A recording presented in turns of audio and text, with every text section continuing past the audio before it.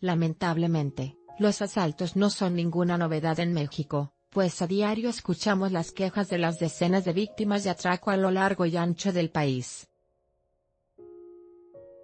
En esta ocasión, las cámaras de un establecimiento comercial ubicado en la delegación Iztapalapa, de la Ciudad de México, captaron el momento de un violento asalto cometido por cuatro delincuentes. El video fue difundido por Excelsior e Imagen Noticias, y en él se puede observar el momento en el que los asaltantes ingresaron al negocio cubiertos del rostro con gorras y cubrebocas.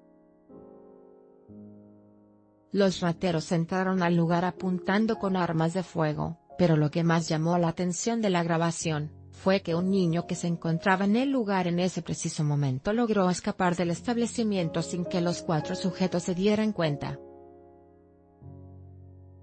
Las imágenes también mostraron el momento en el que uno de los ladrones amagó con un arma de fuego al propietario del lugar y fue entonces cuando se llevaron el dinero, para luego huir del sitio.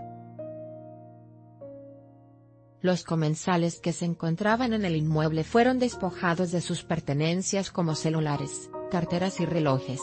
Aquí te dejamos el video del impactante momento del asalto.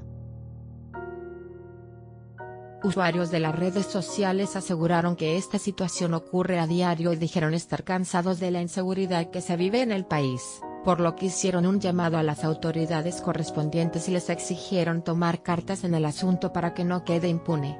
¿Has vivido una situación así? Con información de Excelsior e Imagen Noticias anímate a comentar. Queremos saber tu opinión.